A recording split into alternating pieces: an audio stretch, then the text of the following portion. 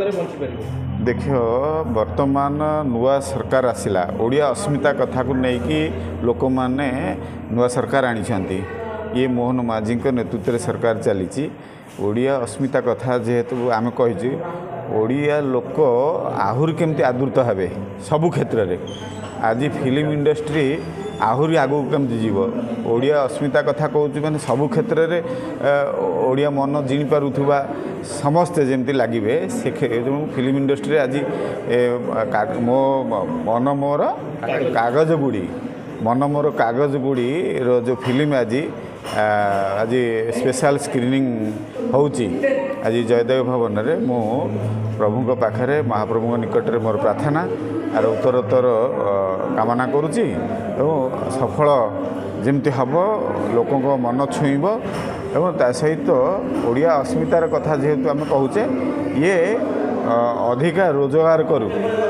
ତାପରେ ପୁଣି ଆହୁରି ଓଡ଼ିଆ ଲୋକଙ୍କ ପାଇଁ ଆହୁରି ବଢ଼ିଆ କଥା ଆଣିକି ଯୋଗେଇବେ ଆମର producer co producer Bibek Barik ଆଉ ଆମର ଶିବିର ପରିଡ଼ା ଅଛନ୍ତି ଏହାର ପ୍ରଡ୍ୟୁସର ଆଉ କୋ ପ୍ରଡ୍ୟୁସର ତେଣୁ ମୁଁ ଅନେକ ଅନେକ ଶୁଭେଚ୍ଛା ଅଭିନନ୍ଦନ ଜଣାଉଛି ଆଜିକା ଦିନରେ। ଆଉ ପ୍ରଭୁଙ୍କ ପାଖରେ ମୋର କାମନା ରହୁଛି ଆକୁ ଆହୁରି ସଫଳ ଆଗକୁ କରନ୍ତୁ। ପୁରା ଆଶାବାଦୀ ନମିନେସନ୍ ପାଇଁ ଆମେ ତ ବହୁତ ଆଗରୁ ପ୍ଲାନିଂ କରିଥିଲୁ। ଯାହା ହଉ କରୋନା ସମୟରେ ବହୁତ କମ୍ ଫିଲ୍ମ ହେଇଥିଲା। ଆମର ସେନ୍ସର ହେଇଥିଲା ଟୁ ଥାଉଜେଣ୍ଡ ଟ୍ୱେଣ୍ଟି ୱାନ୍ ଡିସେମ୍ବରରେ ଏକୋଇଶ ଡିସେମ୍ବର ହେଇଥିଲା ଦଶରେ। ଯାଉ ସେ ବର୍ଷ ବୋଧେ ପାଞ୍ଚଟି କି ଛଅଟି ଫିଲ୍ମ ହେଇଥିଲା। ଆମେ ଆମର ନମିନେଟ୍ ପାଇଁ ଆମେ ଯାହା ଆଶା ରଖିଛୁ ନିଶ୍ଚିନ୍ତ ଭାବରେ ହେବ ବୋଲି ନିଶ୍ଚିନ୍ତ ହେବ। ତାପରେ ଆମର ଫିଲ୍ମ କଥା କହିବା କରୋନା ସମୟରେ ଆମେ ଆରମ୍ଭ କରିଥିଲୁ ଗୋଟେ ଯେ ଆମେ ସୋସିଆଲ ୱାର୍କର ହିସାବରେ ମୁଁ ସୋସିଆଲ ୱାର୍କ କରେ। ଏଇ ଇଣ୍ଡଷ୍ଟ୍ରି ଯେତେବେଳେ ବସି ଯାଇଥିଲା ଆମେ ସେହି ସମୟରେ ଆଗକୁ ବାହାରିଥିଲୁ।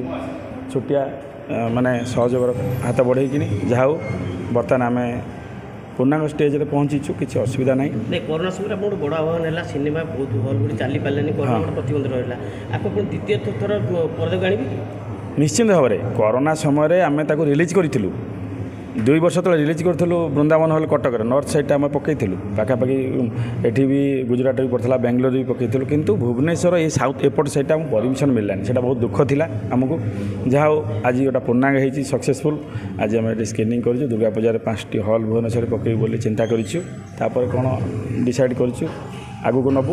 ନିଶ୍ଚିନ୍ତ ଭାବରେ ସକ୍ସେସ୍ ଫିଲ୍ମ ଆମର ମୌଳିକ ଫିଲ୍ମଟି ଆମର। ନିଶ୍ଚିନ୍ତ ଭାବରେ ସକ୍ସେସ୍ ଭଲ ଷ୍ଟାରକାଷ୍ଟ ଅଛନ୍ତି ବଡ଼ ପ୍ୟାକେଜର ଫିଲ୍ମଟି ବହୁତ ମେହନତରେ କରାହେଇଛି। ସମସ୍ତଙ୍କ ମନକୁ ପାଇବ ବୋଲି ଆମେ ଆଶା ରଖୁଛୁ। ଧନ୍ୟବାଦ।